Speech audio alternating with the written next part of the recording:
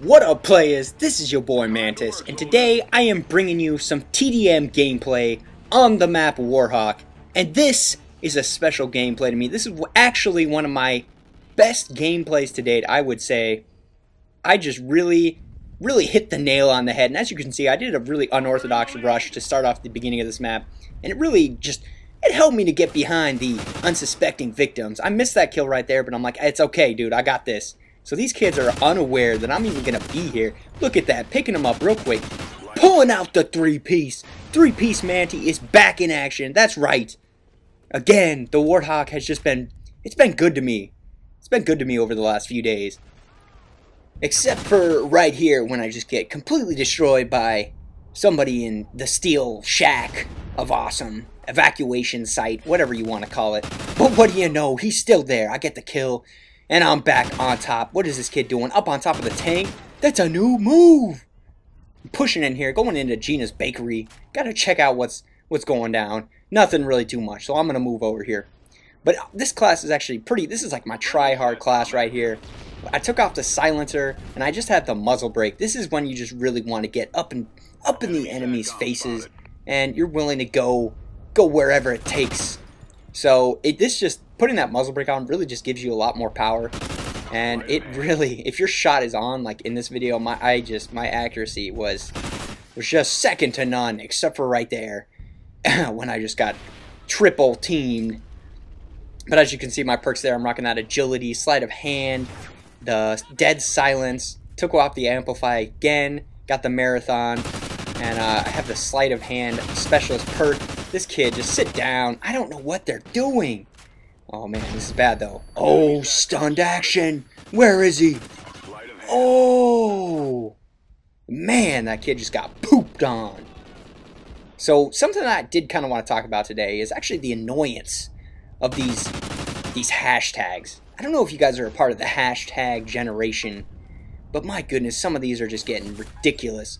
I mean, the whole MCM and WCW, if you're unaware of what those mean. Oh, hold on, while I just throw this nade real quick.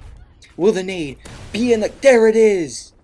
Man, I'm in the clutch right now. I'm feeling good. So yeah, as you as uh, I was saying, if you don't know what the MCM means, that's actually Man Crush Monday. So if you see that on the uh, social media sites, you know Manta showed you what it was.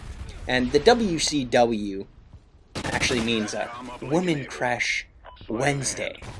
So again, if you're unaware of these uh, these terms, but in my opinion, they're just so it's just stupid. Like guys, ever since the turn of the century of social media, which happened to you know probably mid 2000s or so, you know probably late 2010 when all that stuff started coming about.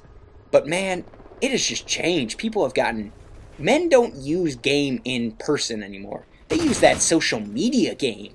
They're all like, yo, yo girl, you looking good. I'm gonna put you on my WCW hashtag Women Crush Wednesday.